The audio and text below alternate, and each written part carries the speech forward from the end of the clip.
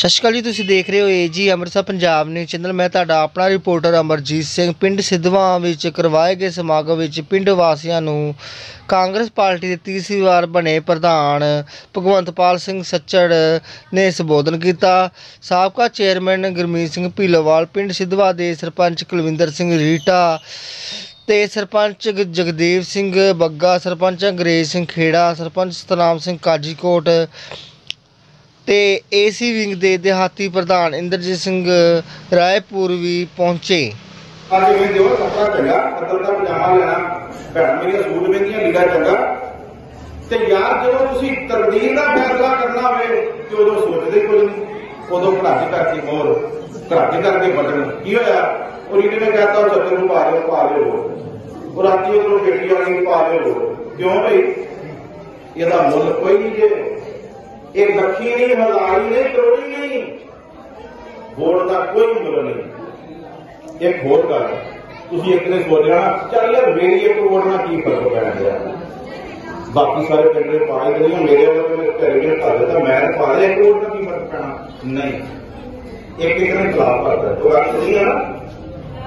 ਪਿੰਡ ਦੇ ਵਿੱਚ ਤਲਾਕ ਕੁੱਟਿਆ ਗਿਆ।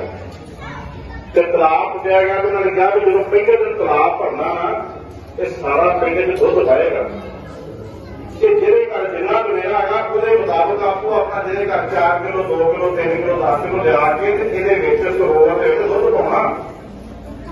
ਸਾਰਿਆਂ ਨੇ ਅੰਤਮਤ ਕਰਤੀ ਗੁਰਦੁਆਰੇ ਦੇ ਭਾਈ ਨੇ। ਅਤੇ ਠੀਕ ਆ। ਤੇ ਕਹਿੰਦੇ ਕੋਣਾ ਵੀ ਘੇਰੇ ਹੋਏ ਆ।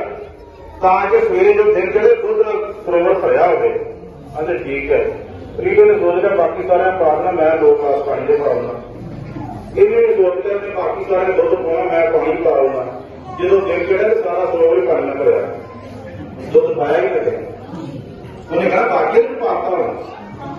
ਸਿੱਖੀਏ ਤੁਹਾਨੂੰ ਦੱਸਣ ਦੀ, ਤੇ ਗੁਰਮੀਤ ਸਿੰਘ ਢੀਲੋਵਾਲ ਨੇ। ਬੜੇ ਚਾਵਾਂ ਤੇ ਸਦਰਾਂ ਦੇ ਨਾਲ ਤੁਸੀਂ ਅੱਜ ਤੋਂ 5 ਸਾਲ ਪਹਿਲਾਂ, ਲਗਭਗ ਪੌਣੇ 5 ਸਾਲ ਪਹਿਲਾਂ ਕਾਂਗਰਸ ਪਾਰਟੀ ਦੀ ਸਰਕਾਰ ਬਣਾਈ ਸੀ। ਤੇ ਜਿਹਦਾ ਮੁੱਖ ਮੰਤਰੀ ਕੈਪਟਨ ਅਮਰਿੰਦਰ ਸਿੰਘ ਨੂੰ ਬਣਾਇਆ ਸੀ।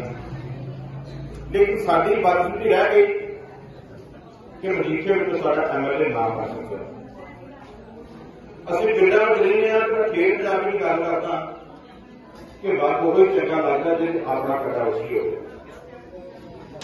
ਉਸ ਵਾਕ ਦੇ ਵਿੱਚ ਤੁਹਾਡਾ ਕਟਾ ਉਸਾ ਹੈ ਨਹੀਂ ਸੀ ਮੇਰੇ ਕਹਿਣ ਦਾ ਭਾਵ ਤੁਹਾਡੇ ਇਲਾਕੇ ਦਾ ਐਮਐਲਏ ਹੈ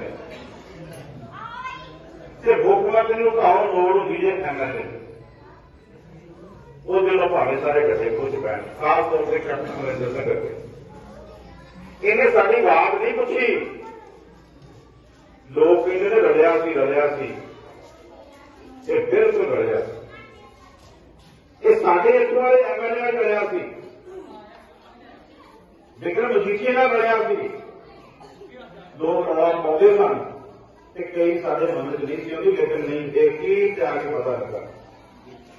ਦੂਜੀ ਗੱਲ ਕਿ ਰਾਜਾ ਬਾਹਰ ਆਇਆ ਸੀ ਇਹਨੇ ਕੋਈ ਦੱਸੋ ਚੌਂ ਸਾਲਾਂ ਦੇ ਵਿੱਚ ਜੋ ਵਾਅਦੇ ਕੀਤੇ ਸੀ 4 ਸਾਲ ਪਹਿਲਾਂ ਉਹ ਵਾਅਦੇ ਪੂਰੇ ਨਹੀਂ ਕੀਤੇ ਹੋਏ ਤੇ ਅਜੇ ਵੀ ਨਹੀਂ ਲੇਕਿਨ ਚਰਨਜੀਤ ਸਿੰਘ ਚੰਨੀ ਦੇ ਆਉਣ ਦੇ ਨਾਲ ਆਰਥਿਕ ਸੁਧਾਰ ਨੇ ਇਹਦੇ ਤੇ ਕੋਈ ਬੜੀ ਜਿਹੀ ਗੱਲ ਕੀਤੀ ਹੈ ਕਾਂਗਰਸ ਪ੍ਰਸਤਾਵ ਹੋ ਗਿਆ ਉਹ ਬੈਠ ਕੇ ਫਿਰ ਕਰਦੇ ਆ ਕਿ ਸ਼ਾਇਦ ਉਹ ਸਾਡੇ ਉਹਦੇ ਜਿਹੜਾ ਮਸਲਾ ਬੈਠ ਕੇ ਆਪਾਂ ਵੀ ਗੱਲ ਕਰਦੇ ਆ ਗਲੀਆਂ ਨਾਲੀਆਂ ਦੀ ਗੱਲ ਕੀਤੀ ਹੈ ਹੋਰ ਵੀ ਜਿਹੜੀ ਕੋਈ ਜਿਸਦੀ ਗੱਲ ਕੀਤੀ ਉਹ ਪ੍ਰੋਸੈਸ ਕੰਮ ਸ਼ੁਰੂ ਹੋ ਗਿਆ ਇਹ ਚੰਗੀ ਸਰਕਾਰ ਦੀ ਬੜੀ ਵੱਡੀ ਕਾਮਤੀ ਸੀ ਕਿ ਜਿਹੜੀਆਂ ਸਾਡੀਆਂ ਲਾਲਕੀ ਦੇ ਅੰਦਰ ਸਾਡੇ ਘਰ ਸਾਡੇ ਮਕਾਨ ਸਨ ਉਹਦੀਆਂ ਸਾਡੇ ਕੋਲ ਰਜਿਸਟਰੀਆਂ ਤੇ ਹੈ ਲੇਕਿਨ ਉਹਦੇ ਤੇ ਸਾਨੂੰ ਕਰਜ਼ਾ ਜਾਂ ਮੁਆਵਜ਼ਾ ਨਹੀਂ ਸੀ ਲੱਗਦਾ ਉਹ ਸਾਡੀਆਂ ਹੁਣ ਰਜਿਸਟਰੀਆਂ ਵੀ ਹੋਣਗੀਆਂ ਤੇ ਉਹਦੇ ਤੇ ਅਸੀਂ ਬੈਂਕ ਕੋਲ